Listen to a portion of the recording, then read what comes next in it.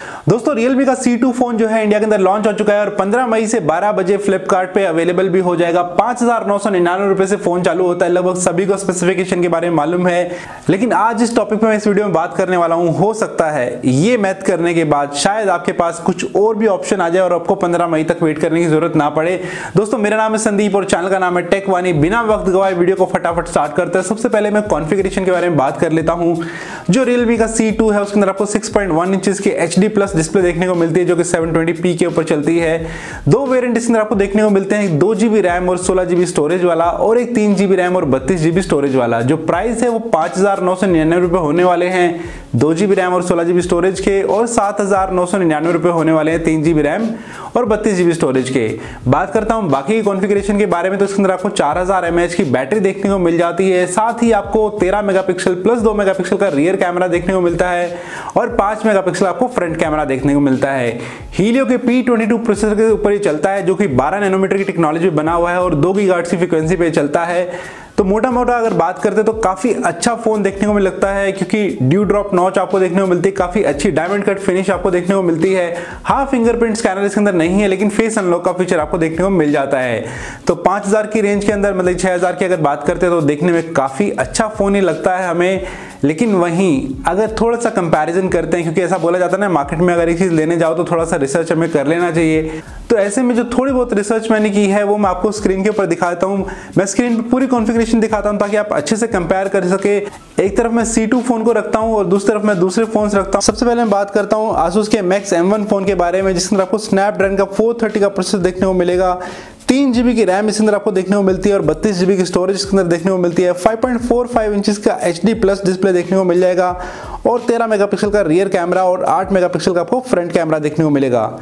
चार हज़ार एम की बैटरी इसके अंदर आपको देखने को मिलती है, साथ ही फिंगरप्रिंट स्कैनर और फेस अनलॉक दोनों का फीचर देखने को मिलता है। दोस्तों प्राइस में जो फ़र्क है वो लगभग पाँच सौ रुपए का है, लेकिन आप कॉन्फ़िगरेशन में अगर फ़र्क देखें तो काफ़ी अच्छा खासा आपको फ़र्क देखने को मिल जाएगा। वहाँ पर आपको दो जीबी रैम और सोलह जीबी की स्टोरेज देखने को मिलती है। आपको तीन जीबी रैम और बत्तीस जीबी की स्टोरेज देखने को मिलती है। साथ ही आपको क्वेलकॉम स्नैपड्रैगन का प्रोसेसर देखने को मिलता है। काफ़ी अच्छा अगर पाँच सौ अगर आप एक्स्ट्रा खर्च कर सकते हैं तो यहाँ पर आपको काफ़ी अच्छी फीचर्स मिल सकते हैं और आपको 15 मई के फ्लैश में जो सेल होने वाली है, उसका भी वेट नहीं करना पड़ेगा। काफ़ी अच्छी कॉन्फ़िगरेशन आप ले सकते हैं। यहीं पर मैं बात करता हूँ सात हज़ार नौ सौ निन्यानवे रुपये वाले मॉडल की तो उसको मैंने कंपेयर किया है आसूस के जेनफोन मैक्स M2 से। और ये फ़ोन आपको आठ हज़ार का मिल जाता है जिसमें आपको क्वालकॉम स्नैपड्रैगन का छह सौ बत्तीस का प्रोसेस देखने को मिलता है, जो कि काफ़ी अच्छी गेमिंग भी इसके अंदर आपकी हो जाती है। तीन जीबी की रैम और बत्तीस जीबी की स्टोरेज देखने को मिलेगी। वहीं पे 6.26 पॉइंट इंचेस की आपको एच प्लस स्क्रीन देखने को मिलती है। रियर में आपको ड्यूल कैमरा देखने को मिल जाएगा, जो कि 13 मेगापिक्सल प्लस 2 मेगापिक्सल का है। और फ्रंट में आपको 8 मेगापिक्सल का कैमरा देखने को मिलेगा। दोस्तों, इसके अंदर आपको चार हज़ार की बैटरी देखने को मिलती है। साथ ही आपको फिंगरप्रिंट स्कैनर और फेस अनलॉक दोनों का फीचर आपको देखने को मिल जाता है। तो काफ़ी अच्छा ये फ़ोन हो सकता है।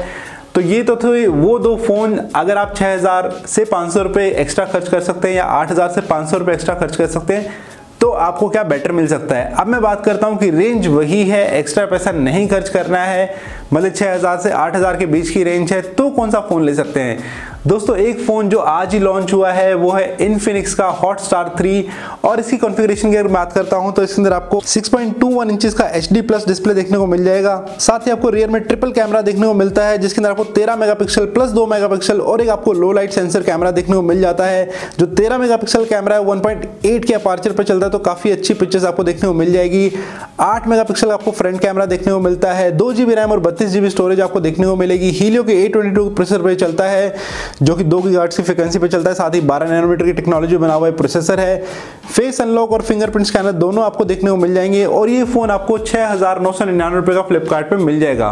तो ये फ़ोन जो है, वो छह हज़ार से आठ हज़ार के बीच मतलब सात हज़ार की रेंज में आपको देखने को मिलता है। और एक फ़ोन जिसके बारे में बात ना करूँ तो वीडियो पूरा नहीं होगा, वो है रेडमी का सेवन अब ये फ़ोन भी मार्केट के अंदर आ गया है और ये फ़ोन आपको आठ हज़ार से नीचे के प्राइस पे देखने को मिल जाता है। दो वेरियंट इसमें आपको देखने को मिलते हैं, तीन जीबी रैम और बत्तीस स्टोरेज और चार जीबी रैम और चौसठ जीबी इसके अंदर अभी स्नैपड्रैगन का छह का प्रोसेसर आपको देखने को मिल जाएगा। साथ ही रियर में तेरह मेगापिक्सल प्लस दो मेगापिक्सल और फ्रंट में आपको आठ मेगापिक्सल का कैमरा देखने को मिल जाता है। गोरिला ग्लास फाइव का इसके अंदर आपको प्रोटेक्शन देखने को मिल जाएगा। चार हज़ार की बैटरी देखने को मिल जाएगी। काफ़ी अच्छा ये फ़ोन है। 8000 से नीचे की रेंज में। तो अगर आप अभी भी सोच रहे हैं कि Realme C2 जो है, उसका वेट 15 मई तक करना चाहिए तो आप कर सकते हैं। फ़ोन में कोई कमी नहीं है। अच्छा फ़ोन है, उसके लिए जा सकते हैं। लेकिन मेरा फ़र्ज़ था आपको बताना कि और भी ऑप्शन मार्केट में अवेलेबल है। अगर आप वेट नहीं करना चाहते 15 मई तक का तो आज मार्केट के अंदर जो अवेलेबल है आप उन फोन्स के लिए भी जा सकते हैं। मैंने आपको कंपैरिजन करके दिखा दिया है। आप वीडियो को रिवाइंड करके मतलब पीछे बैक करके, दोबारा से पूरे डिटेल में कंपैरिजन देख सकते हैं और जो सा फ़ोन आपको पसंद आता है, उसके लिए ले सकते हैं। दोस्तों वीडियो देखने के लिए बहुत बहुत शुक्रिया। मैं मिलता हूँ आपसे जल्दी नेक्स्ट वीडियो के अंदर। अगर वीडियो पसंद आए तो लाइक ज़रूर कीजिएगा और अगर चैनल को सब्सक्राइब नहीं है तो सब्सक्राइब कर लीजिए, क्योंकि मैं रेगुलर ऐसे वीडियो लेके आता रहता हूँ।